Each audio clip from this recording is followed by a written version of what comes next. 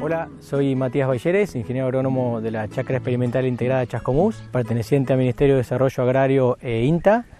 Lo que estamos viendo es la vaca del intensivo, ya parida, con terneros de aproximadamente entre casi dos meses y unos, algunos recién nacidos. Lo bueno es que la concentración de, las pariciones, más del 80%, la tenemos en, 40-45 días. Eh, y el tipo de dieta que está comiendo esta vaca, rairás anual, y, combinado con silaje de, maíz, en este momento son unos 4 o 5 kilos de, silaje y otros 4, 5 o hasta 6 kilos de, de anual por vaca, hace que tengan una dieta muy muy buena para producir leche, que el ternerito se alimente bien, que crezca a, buenos, eh, a buen ritmo para llegar a peso de estete de 180, 200 kilos por cabeza. En cuanto al, al eh, lo comemos en parcelas diarias, en este caso parcelas de, de 0,3 hectáreas que, van rotando día a día y, que la vaca entra a mediodía. Mediodía no, no, es, no es por una cuestión de comodidad, al contrario, nos queda incómodo, sino que es porque es el mejor momento que en el balance de ese forraje para consumirlo. La relación carbohidratos-proteína es, la mejor y, forzamos a que esto suceda, a empezar a pastorear sobre mediodía. Previamente están 4 o 5 horas eh, dentro del piquete de, silo, que ahí levantan los 4 o 5 kilos por, cabeza, y las 80 y pico de vacas que, son están alimentadas en una sola boca, lo cual no vemos que sea una limitante, todas presentan una buena condición corporal.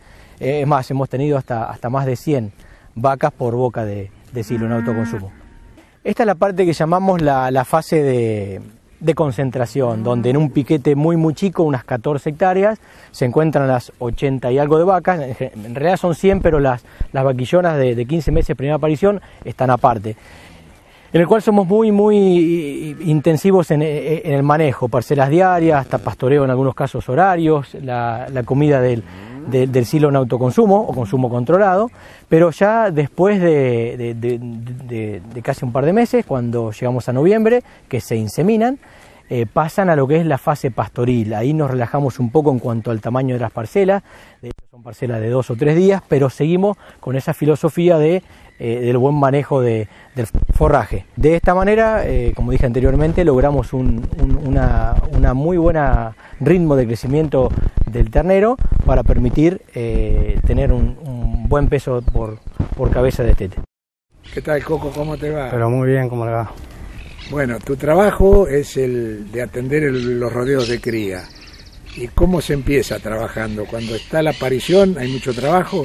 Sí, mira, cuando está la aparición acá son tres rodeos. Son vaquillona, vaca y hay otro que se llama semi-intensivo. Son tres rodeos. Bueno, se empieza eh, por recorrer por los, potreros, eh, eh, vacas que van haciendo, terneritos que van haciendo, se va carabañando, pesando, se toma el número caravana del, de la vaca, se le pone caravana al ternerito, se pesa y se hace, bueno, todo, con todos los, rodeos se hace, se hace todo eso. Me contaban que tienen, tienen poco problema de parto, no hay mucho parto distóxico. No, no, este año no, este año por suerte no, no, no, no, no, hemos, tenido nada. con, los, con los partos todo bien este año. Bueno, y contame un poco cómo es este manejo diario de darle silo y después pasarlas a las pasturas, a las vacas que las estamos viendo sí. con imágenes muy lindas. No, no, sí, es un trabajo de todos los, días, están comiendo silo, comen silo y después al mediodía ya entran a, la parcela, entran a la parcela, comen hasta el otro día, vuelven de vuelta al silo y después vuelven de vuelta a, a las parcelas, se comen así. ¿De noche a dónde la pasan? De noche quedan en la parcela y en, y en el callejón nada más hasta el otro día. Pero es un trabajo relativamente fácil porque las vacas las vemos muy muy mansitas. No, no, lo, sí, no, lo que pasa es que estas vacas están, bueno, yo hace mucho que estoy acá y, me, ya me conocen, eh, como ando todos los días con ellas, ya me ven y ya saben los horarios que comen y, y todo eso. Como saben, a la mañana entran, ya cuando vengo a la bolsa ya están en la bolsa. Lo levantan en la bolsa. Después al mediodía ya cuando me ven que vengo para abrirle a la parcela, ya entran a la parcela ya. No es para nada difícil. No, no, la vaca se acostumbra y, es la costumbre que tiene acá y respeta mucho el eléctrico y todo eso, como se trabajó siempre con eléctrico desde, que son terneros, entonces se acostumbra bien, se acostumbra así. Bueno, Coco, un gustazo. No, el gusto fue mío. Hace muchos años que estás acá Sí. y bueno, esperemos vernos No, no vamos a ver, más. pero sí, como no. Bueno, muchas gracias. A vos.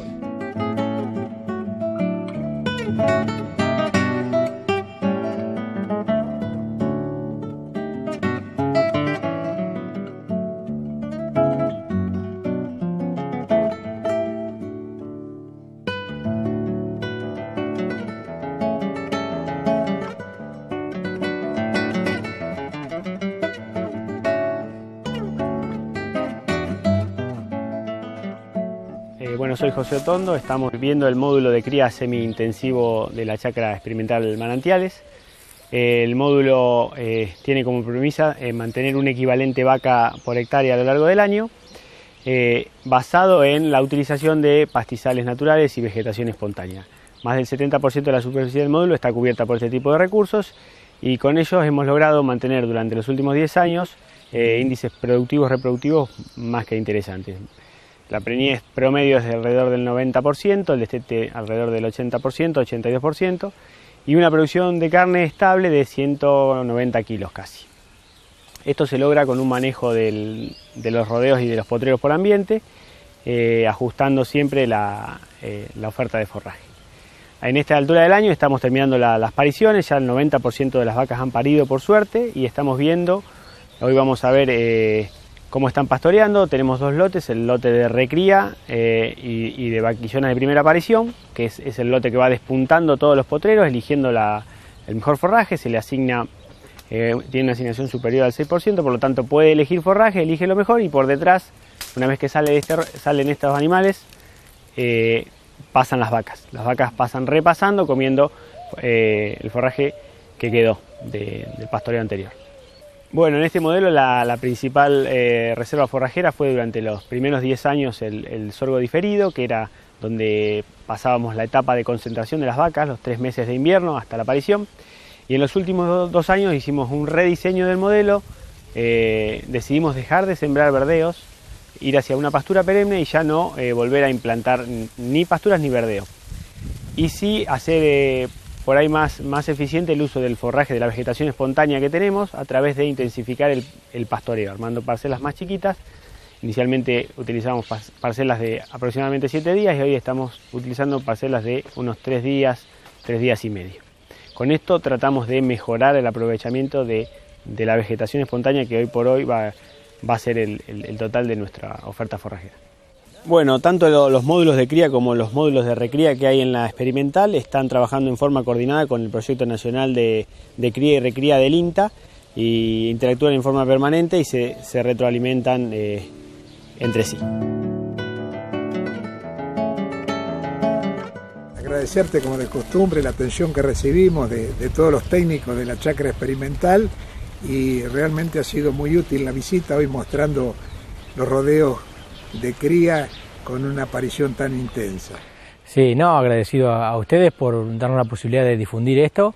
eh, y sí, eh, en eso estamos, seguir innovando en, lo que es cría en este caso, con los dos módulos, el intensivo y el semi, en esta época que es fundamental, la, buena crianza de los terneros, el que ganen a alto ritmo eh, gramos por día y que lleguen con un buen peso de, de y con un desarrollo bueno también que sea plataforma para tener una buena recría en un fieldot o en el caso nuestro con nuestra propia recría o invernada que, que es tema como para profundizar en, en otra oportunidad. Si Dios quiere, si Dios quiere nos van a tener aquí ya tratando el tema de la recría y la terminación de los animales producidos aquí en Chacra Experimental Chascomús. Gracias. No, gracias a ustedes.